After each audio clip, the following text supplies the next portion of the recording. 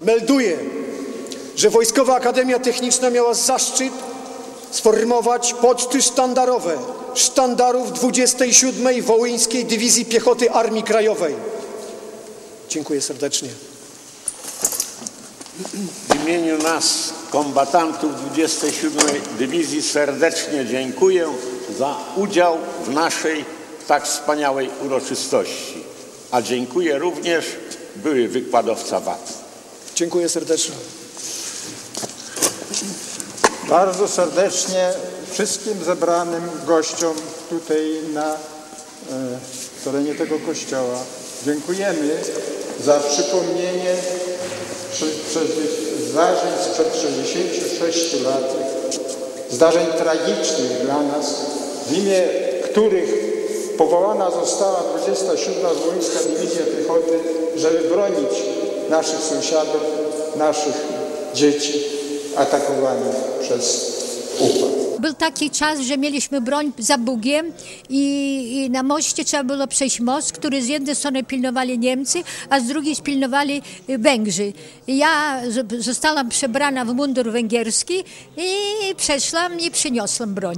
I udało mi się. Na święta żeśmy doszli do miejscowości Kupiczów, w której została e, zgromadzona część 27 Wołyńskiej Dywizji Piechoty i w czasie Wigilii i świąt zostały, został Kupiczów zaatakowany przez e, szereg e, oddziałów ukraińskich.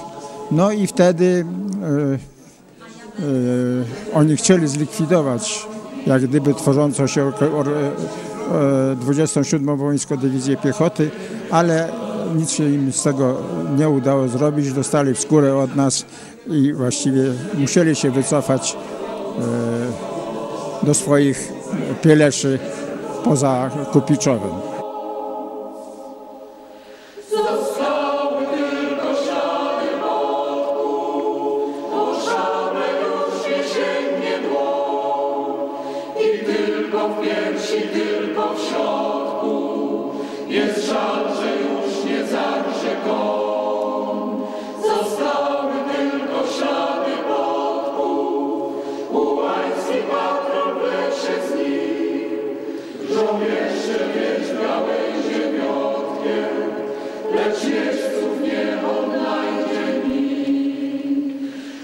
Wróćmy, moi drodzy, do historii, bo przecież Niemcy umiejętnie wykorzystali nadejście ludności ukraińskiej i posłużyli się nimi, aby utrzymać porządek i zapewnić dyscyplinę w tym wołyńskim tytule.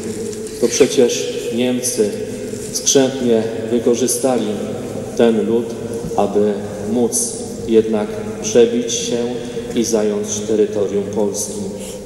To przecież oni wykorzystali tych żołnierzy, a później te bandy, które mordowały ludność wołyńską, tak, tak samo ludność, która była na wielkich pozycjach społecznych, aby dojść do osiągnięcia swojego zaplanowanego, czasami poprzez krew, mordy celu. Kosztem tej godności człowieka i swego bogactwa wewnętrznego człowiek często zatracał swoje, można by powiedzieć, poczucie godności ludzkiej, czasami dążąc do zwierzęcenia, czasami do brutalności. Ale i my o tym nie zapominamy. I my cały czas pamiętamy, że mamy dążyć do tej jedności, mimo tych krzywd, mimo tej krwi, która została przelana. Czas wojny był trudnym czasem dla ludności ukraińskiej i dla ludności polskiej. Rozpoczęły się różne przesłuchania, aresztowania, teleportacje do łagrów. Rozpoczęły się również mordy, które pochłonęły wiele istnień ludzkich. O tym, tak jak już wspomniałem, nie możemy zapomnieć. O tym mamy pamiętać i za nich mamy się modlić. Ale możemy jeszcze zrobić coś w tym kierunku, aby ta ludność Wołynia, która otrzymała ogromne straty, była od tego wolna. Wolna od nienawiści, wolna od łez, wolna od tego, co nas dzieli. Bo przecież każdy z nas chce być bratem i siostrą, chce być wolna od tego, co jest jeszcze jakimś cierniem w sercu. Ta pamięć i szacunek dla tych ofiar jest niezwykle ważna, ale pamiętajmy o tym liście biskupów ukraińskich i polskich. Przebaczamy i prosimy o przebaczenie.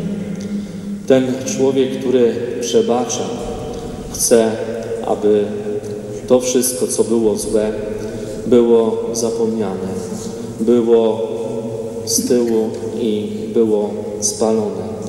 Spalone zostało to, co było dla nas najcenniejsze. Te nasze wspomnienia, te nasze dziedzictwa kulturalne, które też były po tamtej stronie.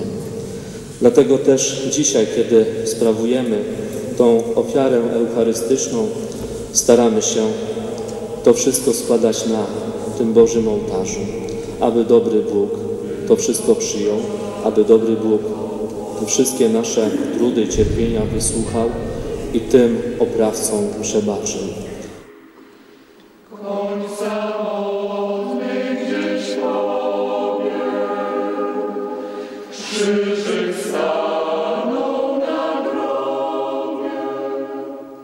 Luty 44 rok, kiedy dywizja już została uformowana i kiedy żeśmy walczyli o poszerzenie obszaru e, działalności dywizji.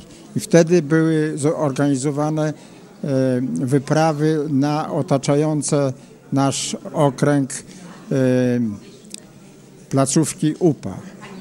I jedną z takich dużych wypraw, gdzie brało udział trzy bataliony, były Oździutycze, umocniona e, e, miejscowość e, z wysokim młynem, z mm, wiatrakiem, którą mieliśmy zdobyć, ale niestety nie udało nam się zdobyć, ponieważ nie, na czas nie wszystkie wyznaczone trzy bataliony doszły do Uździutycz i w związku z tym no, ponieśliśmy praktycznie klęskę. Tam w tym E, czasie mój e, wuj, e, zastępca dowódcy batalionu, został ciężko ranny. Musiano mu amputować rękę i później był zastępcą dowódcy batalionu jako bez ręki, bez ręki dowódca, zastępca dowódcy batalionu, porucznik Świk, Malinowski Józef. Byłam kurierem między Warszawą a, a, a Kowlem no, i na, na, na okręg wolyński i wiozłam pieniądze, dostałam przepustkę, wycyganiłam u Niemca, SS-owca przepustkę i, tą, i od razu poszłam w Warszawie do punktu, i dostałam tam dostałam legitymację, normalne kankartę i sowiecki dowód. I szłam ulicą w tym miejscu, gdzie zabili Kuczerę i zatrzymuje mnie Niemiec i dokumenty.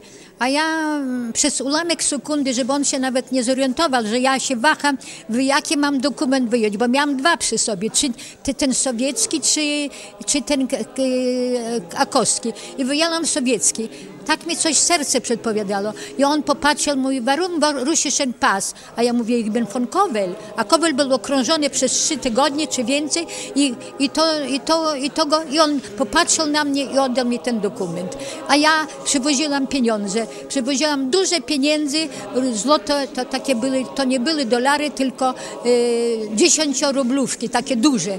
No ja nie wiem ile tego, z pół metra było.